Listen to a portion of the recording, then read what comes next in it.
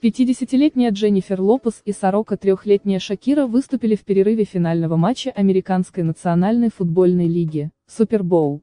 Латиноамериканские исполнительницы устроили феерическое шоу на сцене в Майами. День финальной игры за чемпионство в Национальной футбольной лиге традиционно считается национальным праздником. Звезды считают за честь выступить во время трансляции игры с яркими номерами. В этом году такой честью достоились сразу две певицы, Дженнифер Лопес и Шакира. За 16 минут артистки исполнили свои главные хиты, которые представили в новых музыкальных аранжировках. Свое выступление Джейла начала со слов, обращенных к Шакире. «Давай покажем, как латиноамериканские девчонки умеют зажигать», заявила Лопес. Исполнительницы сменили несколько нарядов, но большую часть времени находились на сцене в контрастных костюмах золотого и серебряного цвета.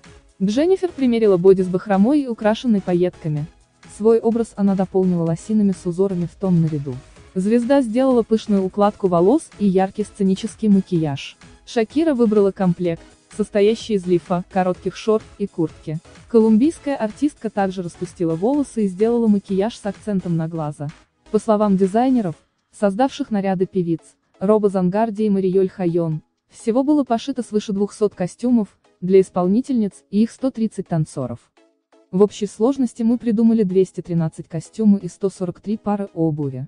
И это всего лишь для 16-минутного выступления, с юмором признались модельеры в беседе с Холливуд Репорта. Во время одного из попури на сцену к Дженнифер вышла ее 11-летняя дочь Эмма. Девочка мечтает стать певицей и пойти по стопам знаменитой мамы. Эмма и Дженнифер в два голоса исполнили патриотическую песню, в которой были вставки из хита Lopus Let Us Get Loud. Бывшая возлюбленная Бена Аффлека тщательно готовится к своим концертам. Редакция «Космо» подготовила материал о том, как западные исполнители проводят свои репетиции. Недавно Дженнифер в роскошном наряде и бриллиантах стоимостью 9 миллионов долларов появилась на красной дорожке. Звезда эмоционально отреагировала на известие о гибели Коби Брайанта и его дочери в авиакатастрофе.